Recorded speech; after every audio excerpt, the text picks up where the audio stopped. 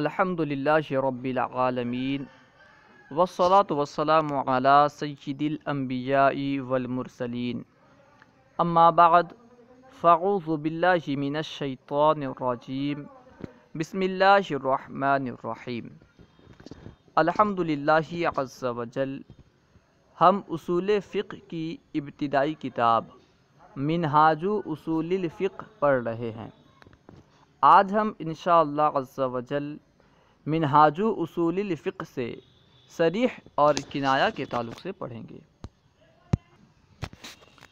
لفظ کی دوسری تقسیم یعنی استعمال کے اعتبار سے لفظ کی چار قسمیں ہیں، حقیقت، مجاز، صریح، کنایہ۔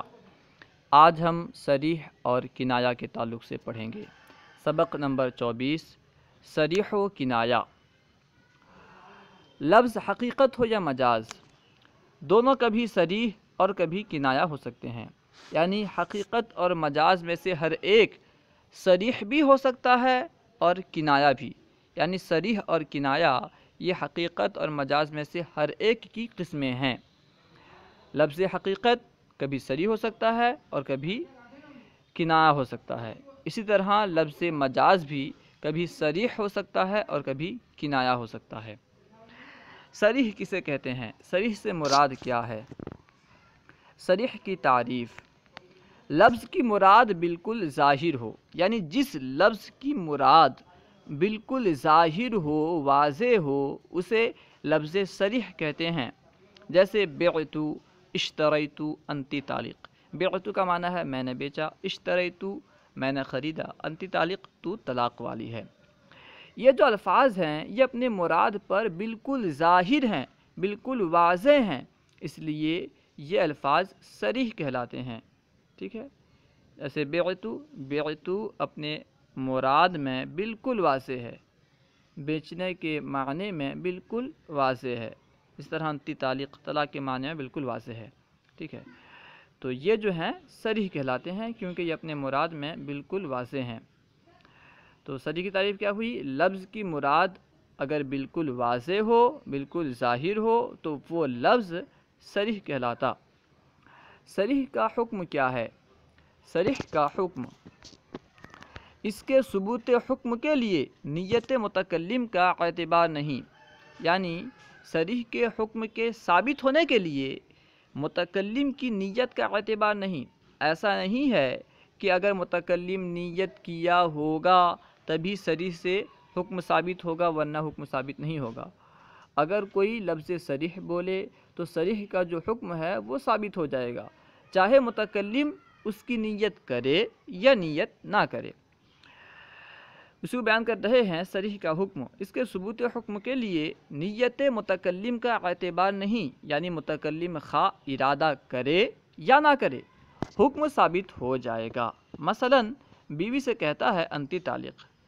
تو طلاق واقع ہو جائے گی۔ اگر شوہر بیوی سے کہتا ہے، انتی تعلق تو طلاق والی ہے۔ اب شوہر چاہے طلاق کی نیت کرے یا نہ کرے، طلاق کا ارادہ کرے یا نہ کرے، بیوی کو طلاق واقع ہو جائے گی۔ کیونکہ طلاق کے واقع ہونے میں تعلق کا لفظ صریح ہے۔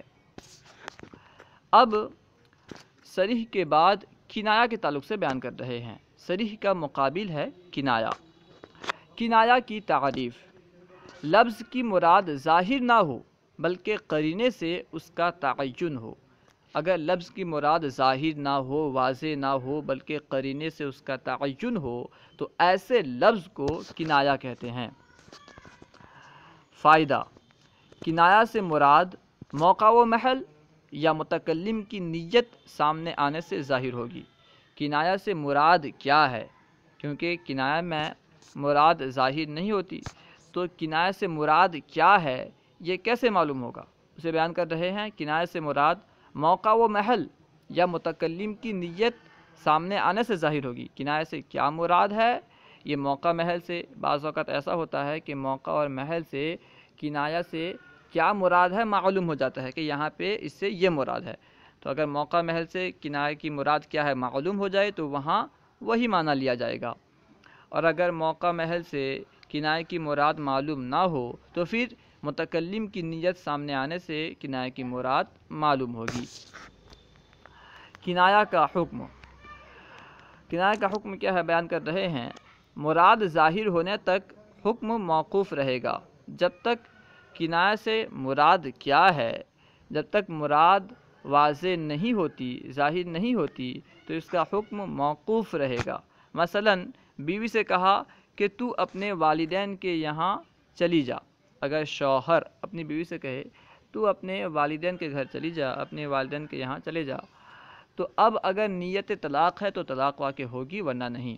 اگر شوہر اس جملے سے یعنی تو اپنی اپنے والدین کے پاس چلی جا اس جملے سے اگر طلاق کی نیت کیا ہے تو طلاق واقع ہو جائے گی۔ اگر طلاق کی نیت نہیں کیا ہے تو طلاق واقع نہیں ہوگی۔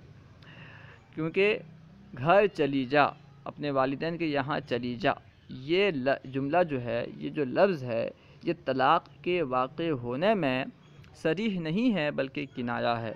اور کنایا سے حکم متکلم کی نیت سامنے آنے سے ظاہر ہوگی۔ اگر متکلم طلاق کی نیت کیا ہوگا تو طلاق واقع ہوگی، ورنہ طلاق واقع نہیں ہوگی۔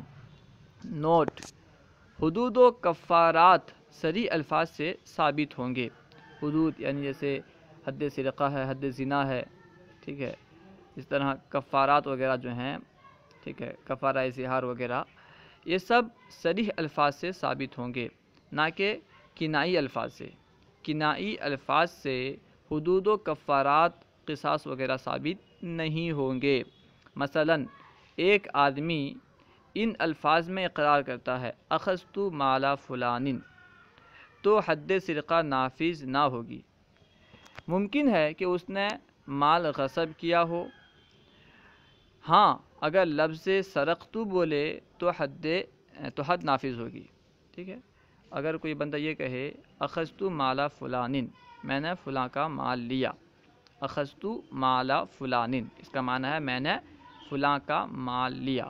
تو ان الفاظ کے ساتھ اگر کوئی بندہ اقرار کرتا ہے تو اس پر حد سرقہ نافذ نہیں ہوگی۔ یعنی چوری کی جو حد ہے وہ نافذ نہیں ہوگی۔ چوری کی حد نہیں لگائی جائے گی۔ یعنی ہاتھ نہیں کاٹا جائے گا۔ کیونکہ ممکن ہے اس نے مال غصب کیا ہو، چوری نہ کی ہو۔ چوری کی حد تو تب لگائی جائے گی جب وہ چوری کیا ہو۔ اگر وہ چوری نہ کیا ہو بلکہ غصب کیا ہو تو چوری کی حد نہیں لگے گی۔ تو یہ جو الفاظ ہیں، اخذت مالا فلان، یہ حد سرقہ کے لیے سریح نہیں ہے کیونکہ کنایا ہے اسی وجہ سے اس سے حد سرقہ ثابت نہیں ہوگا اور حد نہیں لگائی جائے گی۔ اس کو بیان کر رہے ہیں کہ ایک آدمی ان الفاظ میں اقرار کرتا ہے اقسط مالا فلان، تو حد سرقہ نافذ نہ ہوگی۔ ممکن ہے اس نے مال غصب کیا ہو۔ ہاں اگر لفظ سرقتو بولے تو حد نافذ ہوگی، کیونکہ سرقتو کا لفظ چوری میں بالکل واضح ہے سریح ہے۔ سرقتو کا لفظ یہ چوری کے معنی میں بالکل واضح ہے۔ تو جب وہ سرقتو کا لفظ بولے گا تو ظاہر سی بات ہے، اس سے گویا کہ وہ چوری کا اقرار کر رہا ہے۔ جب چوری کا اقرار ثابت ہو گیا تو پھر اس کے اوپر حد لگائی جائے گی۔ چوری کی حد جو ہے، ہاتھ کاٹنا یہ لگائی جائے گی۔ اللہ و رسول اعلم۔ اگر کوئی بات آپ کو سمجھ میں نہ آئی ہو یا درسیات کے متعلق کوئی سوال کرنا چاہتے ہوں تو کمنٹ باکس میں سوال کریں یا فیضان درس نظامی واٹس اپ یا ٹیلی گرام گروپ میں ایڈ ہو کر اس میں سوال کریں۔ انشاءاللہ عز و جل ممکنہ صورت میں جواب دیا جائے گا۔ السلام علیکم ورحمۃ اللہ وبرکاتہ۔